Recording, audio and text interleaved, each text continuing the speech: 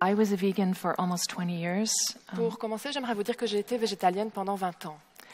I have been inside that world as deeply as one can be. Donc ce monde, j'y ai appartenu aussi profondément que c'est possible. I always emphasize that the underlying values of veganism are not at issue. J'insiste toujours sur le fait que les valeurs qui sous-tendent le, vé- le végétalisme ne sont pas le problème. Uh, those values like justice, compassion, sustainability are the only values that are going to get us to the world that we need. Ces valeurs, telles la justice, la compassion, la durabilité, sont les seules valeurs qui vont nous amener le monde que nous souhaitons.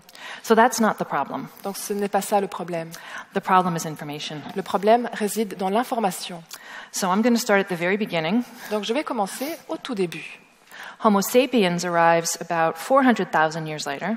L'Homo sapiens, lui, apparaît il y a 400 000 ans. By 200,000 years ago, they are identical to modern humans. Et dès 200 000 avant Jésus-Christ, l'Homo sapiens est identique à l'être humain moderne.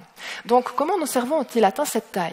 All of this is possible because of our big brains. Tout cela a été rendu possible à cause de la taille de nos cerveaux. So, how did we get those? Donc comment est-ce qu'on les a reçus, obtenus, ces cerveaux? By eating animals. En mangeant des animaux. The human brain requires a huge amount of our energy, Le cerveau humain nécessite une proportion énorme de notre énergie, a full 25%. un bon quart. Yet we have short digestive tracts. Et pourtant, notre tube digestif est court. The only the way that works is if we eat food that is dense with nutrients. La seule façon dont cela peut fonctionner, c'est si nous mangeons de la nourriture à haute densité nutritionnelle. There are people who truly believe that fruits and vegetables have more nutrition than animal products. Et il y a des gens qui croient sincèrement que les fruits et les légumes ont une valeur nutritionnelle plus élevée que les produits animaux. There are essential amino acids, so proteins. We have to eat them, uh, we can't make them.